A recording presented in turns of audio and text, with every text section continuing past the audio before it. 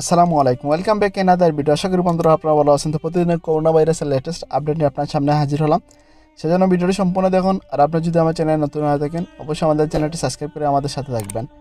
বন্ধুরা, প্রথমে দেখেন আমরা বাংলাদেশের করোনা ভাইরাসের সর্বশেষ আপডেটটি বন্ধুরা, এখন যদি আমরা বাংলাদেশে করোনা ভাইরাসের আপডেটটি দেখতে আসি, দেখতে পাচ্ছেন আজকের রিপোর্ট নাও আজকে নতুন করে বাংলাদেশে করোনাকান্ত রোগী পাওয়া গেছে এক হাজার ছয়শো চৌরাশি জন। এ নিয়ে বাংলাদেশের সর্বমোট করোনাকান্ত রোগীর সংখ্যা দাঁড়িয়েছে তিন লক্ষ তিন হাজার নয়শো উনষাট জন এবং আজকে নতুন করে মারা গেছে ষোলো জন। এ নিয়ে বাংলাদেশের সর্বমোট করোনাকান্ত রোগী মৃত্যুবরণ করেছে পাঁচ হাজার পাঁচশো তিরানব্বই জন এবং টোটাল রিকভারির সংখ্যা দাঁড়িয়েছে দুই লক্ষ সাতানব্বই হাজার চারশো উনপঞ্চাশ জন। তবে এখনও পর্যন্ত বাংলাদেশে করোনাকান্ত রোগী অ্যাক্টিভ কেস রয়েছে উনআশি হাজার নয়শো সতেরো জন। বন্ধুরা, এই ছিল আজকে বাংলাদেশে করোনা ভাইরাসের সর্বশেষ আপডেটটি এখন দেখেন এটা কাতারে করোনা ভাইরাসের সর্বশেষ আপডেটটি বন্ধুরা, এখন আমরা চলেছি মিনিস্ট্রি অফ পাবলিক হেলথ কাতারের যে ওয়েবসাইট আছে নিচের দিকে আসলে আজকে হলো চোদ্দোই অক্টোবর। আজকে নতুন করে কাতারে করোনাকান্ত রোগী পাওয়া গেছে একশো আটানব্বই জন।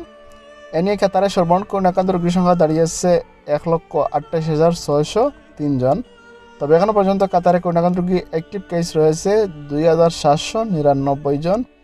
এবং আজকে নতুন করে রিকভারের সংখ্যা দাঁড়িয়েছে দুইশো এগারো জন।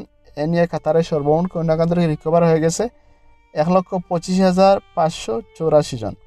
এবং আজকে মৃত্যুর সংখ্যা জিরো, আপনারা অলরেডি জানেন কাতারে দুইশো বিশ জন মারা গেছে। বন্ধুরা, এই ছিল আজকে কাতারে করোনা ভাইরাসের সর্বশেষ আপডেটটি যদি ভিডিওটি ভালো লাগে, অবশ্যই ভিডিও লাইক কমেন্ট কমেন্ট করে আপনার মতামত দিবেন। আর আপনার যদি আমার চ্যানেল নতুন হয়ে থাকেন, অবশ্যই আমাদের চ্যানেলটি সাবস্ক্রাইব করে আমাদের সাথে থাকবেন। দেখা হবে নতুন ভিডিওতে, এ পর্যন্ত ভালো থাকুন, সুস্থ থাকুন। আল্লাহ হাফিজ।